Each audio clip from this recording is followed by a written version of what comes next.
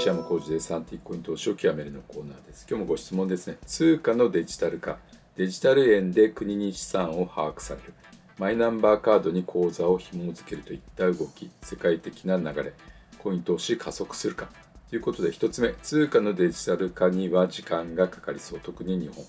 2つ目、通貨発行権がデジタルになり収集つかないかも。3つ目、日本のマイナンバー化は進むが、これものらりくらりか。4つ目、政治家は現金とか裏金が大好き。収支見えたら逮捕されそう。コインに限らず、現物資産は一定の需要はあるということで4つのテーマで話をしていきます。まあこれからデジタル円とかデジタルドルとかですね、デジタルユーロ、デジタル人民元とかに、えもっと加速していくのではないかというふうに私も思っています。で、まあ日本だとマイナンバーカードができて、もう数年経つと思うんですけど全然進んでいかないというのが日本という国です。1つ目通貨のデジタル化には時間がかかりそう、えー、特に日本ということでまあこれ2024年に日本は新券ですね。新しいお札を発行するという時代錯誤のことをやっていると。で日本っていう国はあらゆるものがデジタル化が遅いかなという感じです。多分中国の数十分の1のレベルのスピード感という感じでこれなぜかと思った時にあえてですね人がたくさん必要だからアナログっぽい国なのかなという感じです。で日本だと、ソフトバンクがやってる PayPay とかが、まあ、使いやすいと。財布もいらない小銭も不要と。チャレンっていうだけなんで、まあ、スマホ持ってると結構今いろんなとこで買い物するときに、まあ、PayPay とか LINEPay とか楽天 Pay とかいろいろ AmazonPay とかいろいろあると思うんですが ApplePay とかですね。まあ私個人的には PayPay を使うことが非常に多いです。まあこれ昔インターネットやるときにモデムを無料で配ったのがソフトバンクのやり方だったと思うんですが今も手数料無料で全国的に展開しているのがこの PayPay なので非常にシステムも堅牢性があり使いやすいという感じです。であの家族間で PayPay で送金とかも本当何秒とかでできますし、まあ、自動に引き落としされて入金もされるので単純にスマホで QR コード出してスキャンしてもらうか、えー、バーコードをスキャンするかでお金が決済できるという感じです。でただ今履歴が残ることによって全てデジタルになっていくことにおそらく日本は非常に抵抗してるのかなという感じです。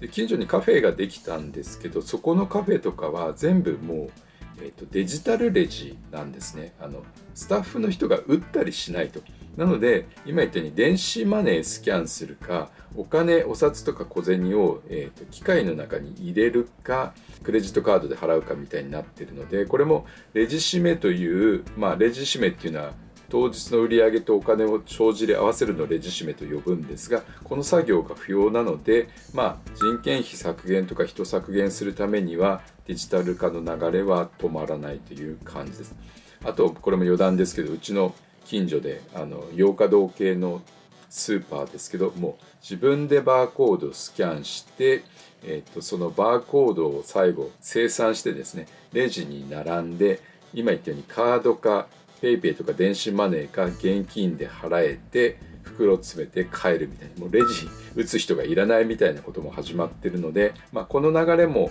えーと、止まらないかなという感じです。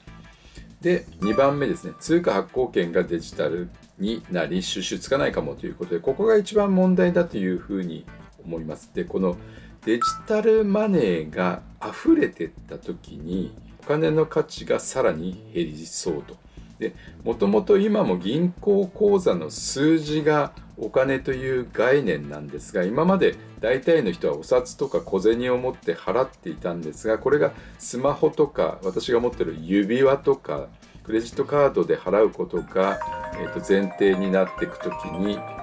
どんどんこの収集がつかなくなっていくかなという感じです。であとスマホでこれからガンガン送金されると、まあ、さっき言ったようにですね人がいらなくなる世界になっていくのかなと。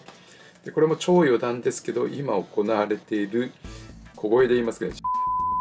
とかも要は人がいらない世界になっていくから人を減らしてるのかなという感じです。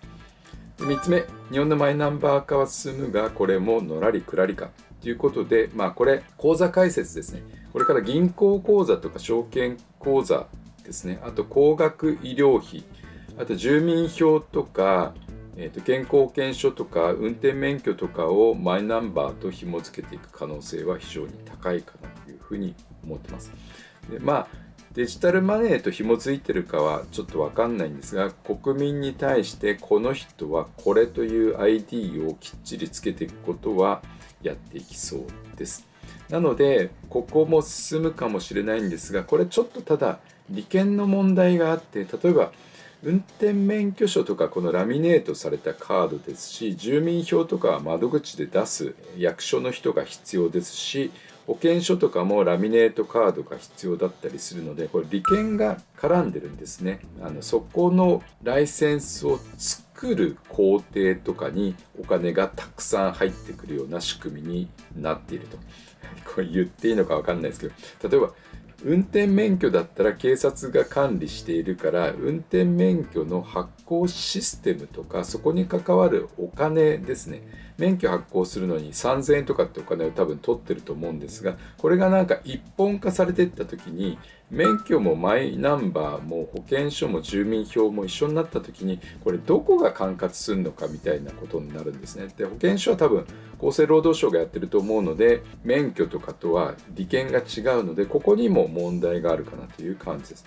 4つ目政治家現金とか裏金が好きと収支見えたら逮捕されそう恋に限らず現物資産は一定の需要があるということで、まあ、この政治家の人支配者の人政治家だけじゃなくてもっと裏側にいる人っていうのはもう現金大好きなんでお金持ってこいっていう人たちだというふうに私は認識していますなのでこれスマホでとか PayPay で1億円も送金できないですけど、えー、と送金したらもうこれは何の金だっていうふうにすぐ足がついてしまうのでこの賄賂系ですね買収系とかすぐバレてしまうのでここは支配者側がやりたくないので非常に時間をかけてのらりくらりやっているのかなというような感じです。そろそろまとめですね。まあ、この通貨のデジタル化進んでいくと思うんですが、私の中では非常に時間がかかると。で、日本っていう国はもう利権国家なんですね。それぞれの場所で経済産業省がとかですね、さっき言ったように厚生労働省がとか、農林水産省がとかって言ってそこにさまざまな利権が絡んでいるのでこのデジタル化していくことは非常にハードルが高いかなという感じです。なので頭がいいのか悪いのかちょっと分かんないんですが本当にのらりくらりなんですね。中国みたいにまあこれ国が主導でシンガポールみたいに国が主導でデジタル化をどんどんしていくっていうことはやろうと思えばできるんだと思うんですけどみんなやりたがらないのが日本なのでこのマイナンバー化とかもまあやりたいやつまずやっていけばみたいな感じでマイナポイントを払ってやりたい人はやればみたいなことが様々なもので起きてるかなという感じです。でまあ理由としてはやはりその支配者系の人裏にいる大物系の人が現金大好きで履歴とか追われたくないのでその人たちが、えーと、権力を持ってる間はこれは一向に進まないかなという感じです。でコイン投資が加速するかっていうのがあの質問についていたんですが、まあ、これコイン投資に限らず現物資産というものはこれ今現金のデジタル化でお金の価値がどんどん目減りしていくようなイメージを持っていて、まあ、今世界中が金利が上がってるけどお金の価値がなくなってるから現物資産不動産とかさっき言ったようにコインとか宝飾とかいつも買っていく話をしていると思うんですがそのようなものに向かうことは加速するかどうかはわからないですがある一定の数量は需要はあるかなという感じです。え、本日の動画がためになって面白かったという人はぜひ、ね、高評価をしていただければと思います。あとコメント欄ですね、このようにご質問いただけると動画作りのヒントになりますので、ぜひコメント欄にご質問いただければと思います。あとチャンネル登録ですね、この番組ではアンティークコイン投資でお金を増やす、守る、えー、投資のこと、経済のことを支配者論から陰謀論から心理の話までしてますので、ぜひチャンネル登録していただければと思います。動画の最後に QR コード概要欄に URL、LINE 上でアットマークゴールドコインと打ちますと、私が発行している LINE に登録することができます。週1回ニュースレターを発行しているのと、動画が1本ついてまして、